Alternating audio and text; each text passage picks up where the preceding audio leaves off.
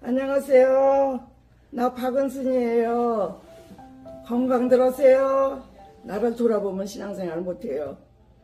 그저 하나님이 맡겨준 거는 죽든 살든 열심히 열심히 내 생활을 제쳐놓고 오고 나면 하나님이 대봉시더라고.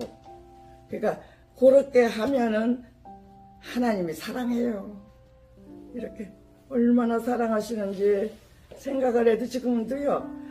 아 그래도 그 삼각산 가서 부르짖고 기도하는 소리를 들으셨고 어, 또 이렇게 교회에서도 밤을 자지 않고 철회 기도를 그렇게 했고 그러니까는 목사님들이 지금 여기 나 찾아오셨죠.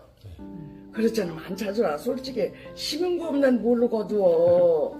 심어야 거두지.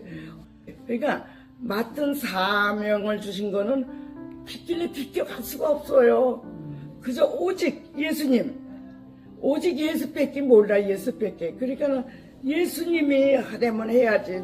가짜로 하지 말고 진짜로 진, 진짜로 진짜로 하면 하나님이 마지막까지 다 도우세요. 그러니까 이제 우리 아들이 엄마 이제는 밥을 못 하세요.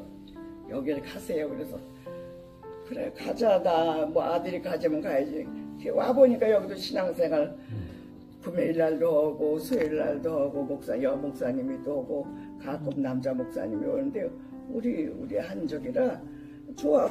예배 드리고 이렇게 먼저 여기서 밥 주는 거 뭐 밥 똑같은 밥이지 뭐 별날 먹고 그저 다 내 마음에 달려서 내가 낙천적으로 뭐든지 받아들이기만 하면 편안해.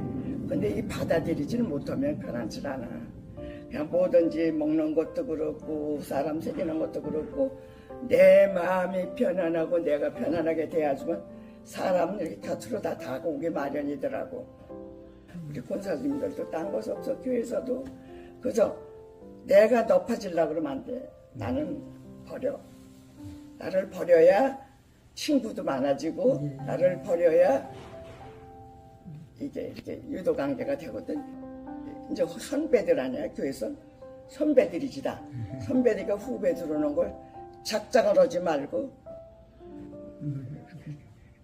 그러면 그것들이 다 도와주고 교회가 성장하게 되고 교회가 날로 날로 풍성하게 되잖아. 우리 목사님들도 다 걱정하지 마세요. 그저 하나님이 악한 데만 대해서 내가 이러면 부끄러울 것도 없어. 뭘 부끄러워? 하나님이 그 소명인데 해야지. 저기 요담에 내가 나가면 우리 만나. 건강하게. 교회 일 많이 해. 기도 많이 하고